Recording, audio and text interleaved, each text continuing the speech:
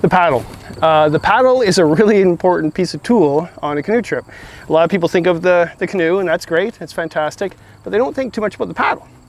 You think about it, the paddle gets you around. In fact, I have more connection, I think, with my paddles through my life than actually my canoes. So, uh, and I got a lot of paddles. so it's really important to think about getting a good paddle that fits you perfect and it's good for the job that you're going to use it for on that trip. All right, which comes to blades first of all, before we get into the size. Um, you will probably see a lot of these paddles on sale at outdoor shows and bins. They're like wide things like this. Well, actually, something like that.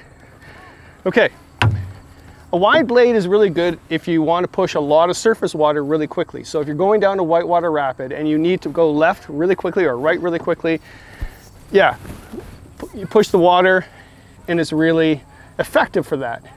If you're going to go across a long lake uh, doing the J stroke all day, the Canadian stroke all day, that's a piece of crap, okay? piece of crap. It's, oh, the neighbors are oh, kids are playing, oh, and they're getting mad at each other. Kids are kids. I think they need a canoe trip. So yeah, so th this is uh, basically for going down whitewater and need to move the water really quickly.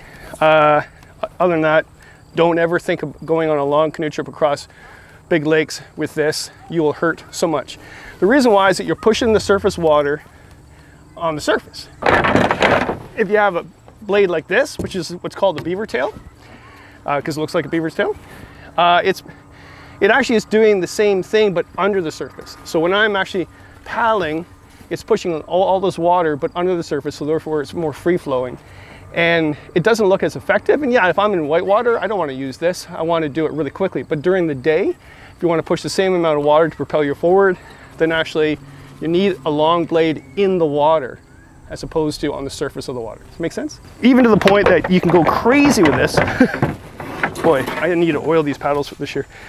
This is an extended otter tail. Really old blade. Holy jumping, I got to oil this thing. So sorry. And I got this for doing my solo trips uh, when I actually going in small creeks when I use as a pole as well. So I really like that. Yeah, it's a little long for me, but on some trips, I like this. But yeah, this is pushing a whole bunch of water under the surface as opposed to on the surface. Which is better? That's crap. This is good. My preferred beaver tail, a little bit longer. Also, what do we got here? the other things I do is I love putting uh, um, leather around the throat of the, of the blade. Why is that when you're paddling and you're doing the Canadian stroke, you're going to run your gunnel along, run your gunnel, you're to run your throat along the gunnel to actually help ease your, your wrists after a long day. There's old books, uh-oh, going to be a fight. There's old books that actually uh, show that you should never have your throat touch the gunnel of the canoe that's wrong. They've never gone on a long canoe trip before. If you're going for 10 days, going hundreds of kilometers, you're going to want to ru run your, your throat along the gunnel when you're doing the, the Canadian stroke or the J stroke. So leather really helps for that. Love this, it's called the Voyageur handle, or, what's a Voyageur grip, I think. But yeah, you're supposed to hold the paddle like this, but on a long day, to help this wrist out, you can use this as well. Not all paddles would come with that, but that's an added bonus. You can also have a top grip like this. It's bent a little bit. You know what? I think it's like this. I don't really use this paddle much. Um, but that's the idea behind that. And that actually saves your, your wrist as well. So yeah, two different ones. Oh, oh, my neighbors are leaving. A lot of action here. It's a long weekend. I don't go camping on a long weekend. It's just crazy out here.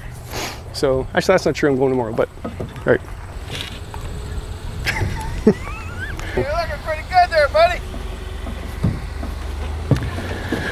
Okay, what was saying? Okay, so how do you measure uh, a blade for you, for your size?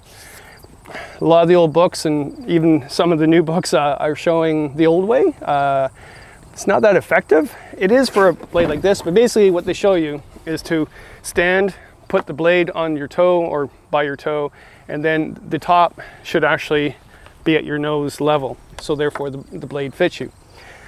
It works for a blade like this.